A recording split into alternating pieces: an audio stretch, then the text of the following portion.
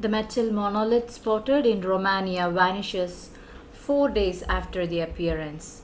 A metal monolith that was spotted in Romania vanished on Tuesday, four days after its appearance close to an ancient Dacian forest, fortress. The 2.8 meter, that is 9 feet tall structure disappeared overnight as quietly as it was erected last week. And Robert Lozub, who had seen the structure, told the news channel that an unidentified person, apparently a bad local welder, made it. He added.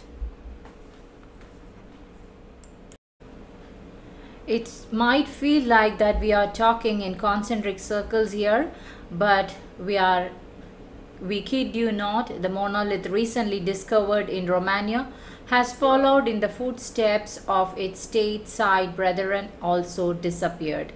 According to the local reports, the metal structure which was buried into the ground on a hill overlooking was removed overnight by an unidentified party, pretty similar to that found in the middle of nowhere in Utah. So the investigation still continues. If you are new to the channel, please subscribe my channel and don't forget to click on the bell icon.